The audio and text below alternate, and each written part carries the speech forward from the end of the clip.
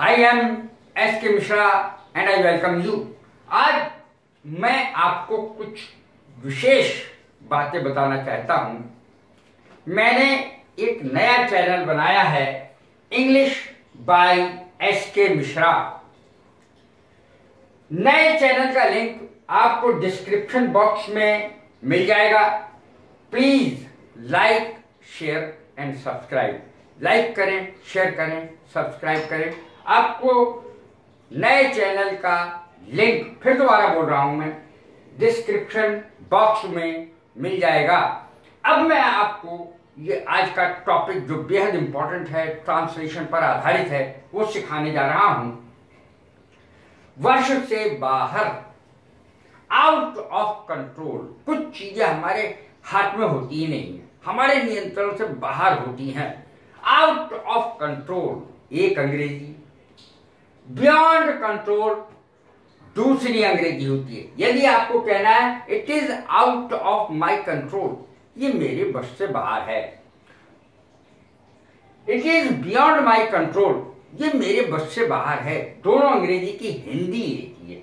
कुछ चीज़ें हमारे बस में नहीं होती, ये एक ऐसा सेंटेंस है, जो अक्सर बोला जाता है, परंतु उसकी अंग्रेज़ी किसी को नहीं आती। कुछ चीज़ें, या बहुत सारी चीज़ें ऐसी होती हैं जो हमारे हाथ में नहीं होती। जैसे जीवन है, मृत्यु है, बीमारी है, बहुत सारी चीज़ें हमारे हाथ में नहीं होती। कुछ बातें हमारे बस में नहीं होती, हमारे हाथ में नहीं होती, हमारे नियंत्रण में नहीं होती। अंग्रेज़ी क्या बनेगी? Few things are not in our control under our control he is not under our control under my control वह मेरे बस से बाहर है, मेरे कंट्रोल में नहीं है। तो under control out of control under control माने कंट्रोल में है। आउट ऑफ़ कंट्रोल का मतलब कंट्रोल से बाहर है। बियॉन्ड कंट्रोल कंट्रोल से बाहर है। तो देख ले अच्छी तरह इसकी अंग्रेज़ी। बस, अब रोना धोना छोड़ो, रोना धोना बंद करो। या हंसना बंद करो, मैंने दोनों की अंग्रेज़ी दी है। नाव माने अब अब रोना धोना छोड़ो, रोना धोना बंद करो। नाउ स्टॉप क्राइम क्राई शब्द का यूज़ करिए रोने के लिए। वीपिंग का मत करिए। क्राई शब्द का प्रयोग करिए।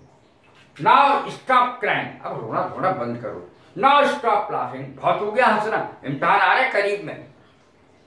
नाउ स्टॉप लाफिंग बस, तुम उसका नाम बता दो एक बार। एक बार नाम बता दो। ये चोरी किसने करी है? सामान यहाँ से किसने उठाया है? मेरा मोबाइल कौन उठा के ले गया? बस तुम नाम बता दो अगर तुमने देखा हो। एक बार नाम बता दो। Just tell me his name यदि महिला है तो हर नेम केवल बस उसका नाम बता दो। अंग्रेज़ी देखे कैसे बनेगी? जस्ट टेल मी हिज या हर नेम और एक बार अगर कहना है कि बस एक बार नाम बताओ just tell me his name once इस तरीके से बनेगी। बस एक मिनट रुक एक मिनट रुक जाओ स्टॉप या वेट ए मिनट एक मिनट रुक जाओ। बस एक मिनट इंतज़ार कर लो। बस एक मिनट लगेगा। बस एक मिनट लगेगा। कितना बोला जाता है? It will only take a minute अरे भैया, एक मिनट लगेगा, ज़्यादा देर ना लगेगी। एक मिनट में आया अभी बस करो स्टॉप इट स्टॉप इट बस करो, बंद करो। बस मेरी बात सुनो ओबे मी मेरी आज्ञा का पालन करो। यानी मेरी बात सुनो, मेरी बात मानो, मेरी बात मानो ओबे मी और इस तरीके से भी बोल सकते हैं, जैसे ये लिखा है। क्लास में या घर में, अरे बच्चे मेरी सुनते ही नहीं है। बच्चे स्कूल में, क्लास में, विद्यार्थी मेरी सुनते ही नहीं है। कोई मेरी सुनता ही नहीं है। जस्ट लिसन टू मी लड़कों से क्लास में टीचर कह सकते हैं, अरे भैया, मेरी बात सुनो। बस मेरी बात सुनो। अपनी बातों में मतलब चैचे पे पे। स्टॉप चैटिंग बकवास में मतलब आपस में बात मत करो। जस्ट लिसन टू मी मेरी बात सुनो, मेरी बात मानो। दुनिया भरे की सुनते फिरते हो। अरे मेरी बात सुनो, मेरी। ओवे मी, मेरी आज्ञा का पालन करो। बस, बहुत हो गया।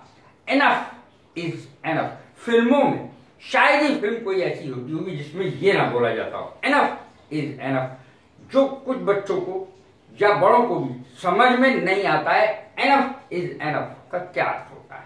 एनफ माने होता है काफ़ी, बहुत। एनफ इज़ एनफ काफ़ी हो गया, बहुत हो गया।